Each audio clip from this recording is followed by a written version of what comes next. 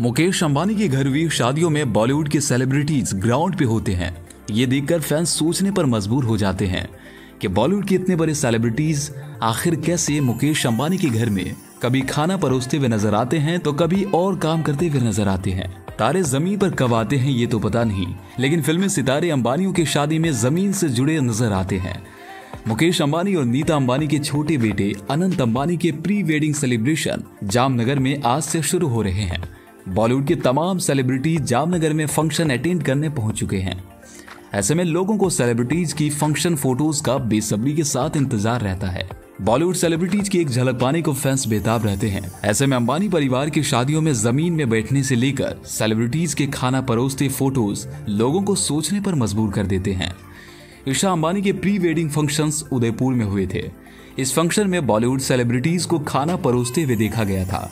और ये वीडियोस और फ़ोटोज़ काफ़ी वायरल हुए थे उस दौरान, जिसमें कि अमिताभ बच्चन, ऐश्वर्या राय से लेकर आमिर खान तक ने लोगों को खाना परसा था। इतना ही नहीं, आकाश अंबानी और श्लोका मेहता की एंगेजमेंट सेरेमनी में बॉलीवुड सेलिब्रिटीज ज़मीन में बैठे दिखे थे। आयान मुखर्जी, रणवीर कपूर ज़मीन में बैठे और शाहरुख खान मेज पर बैठे दिख रहे थे।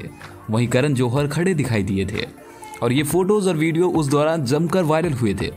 सबको ऐसा लग रहा था कि इतने बड़े किंग खान मुकेश अंबानी के घर में इतने नॉर्मल तरीके से कैसे रह सकते हैं। नीता और मुकेश अंबानी के बेटे अनंत अंबानी के प्री वेडिंग फ़ंक्शंस एक से तीन मार्च के बीच जामनगर में हो रहे हैं। इस शादी में सलमान खान, शाहरुख खान से लेकर बॉलीवुड के नामी सेलेब्स पहुँच चुके हैं। फ़ंक्शंस में पॉप सिंगर रिहाना का परफॉर्मेंस भी होगा।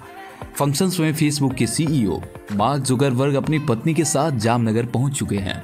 लेकिन जो सबसे ज़्यादा अटेंशन का केंद्र है, वो है बॉलीवुड सेलिब्रिटीज का अंबानी परिवार में खाना परोसते हुए दिखाई देना। आप क्या कहना चाहेंगे कमेंट सेक्शन में बताएँ।